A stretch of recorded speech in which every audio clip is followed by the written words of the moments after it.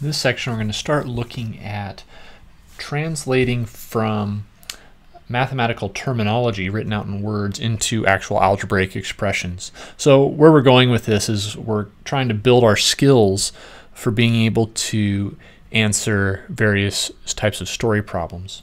So um, first of all, um, I think one thing that would be useful to do before going through the videos for this section is to, in your book, go through examples 1 through 8.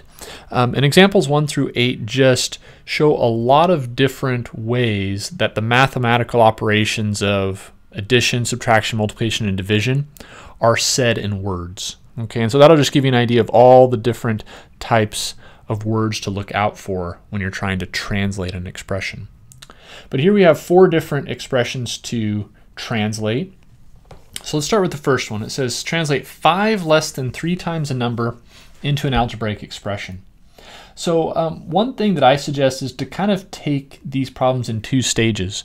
The first stage would be to, first of all, take all the numbers that are written in words and write those um, using numerals. So instead of the, the number 5, I'm going to put the numeral 5. And less than, right? So if, if they give a phrase um, that can be written in a more explicit way, you might want to do that. So what does less than mean? Well, it means subtraction, right? So less than would be the same as subtracted from.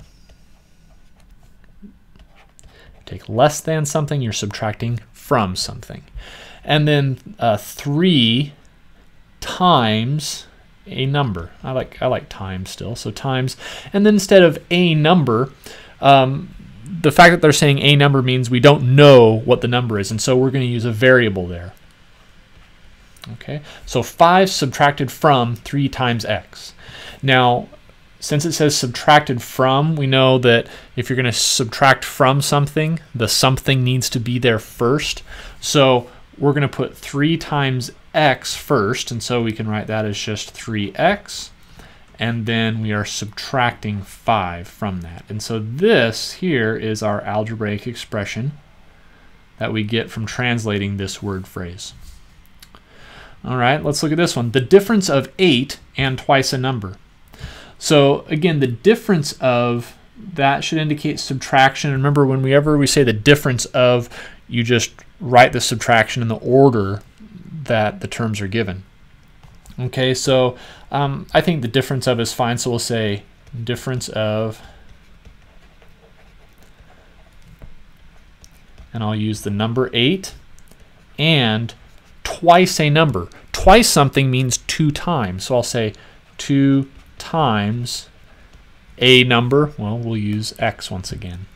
So the difference of 8 and 2 times x, keep the same order, 8 minus 2x. And so there's our algebraic expression translated right there. Okay. All right, so it says 4 times the sum of a number and 6. Okay, so 4 times is pretty explicit, so we'll write that out. Times. Okay, now it says the sum of a number and 6.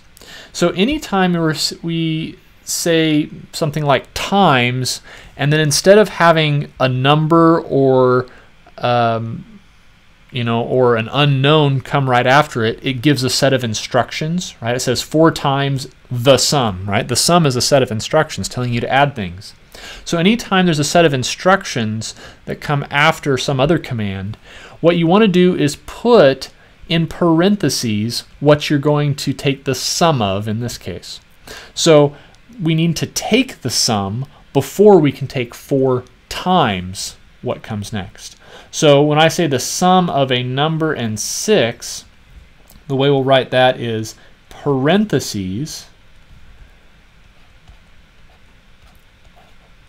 a number plus 6. And so, of course, that turns into 4 times x plus 6.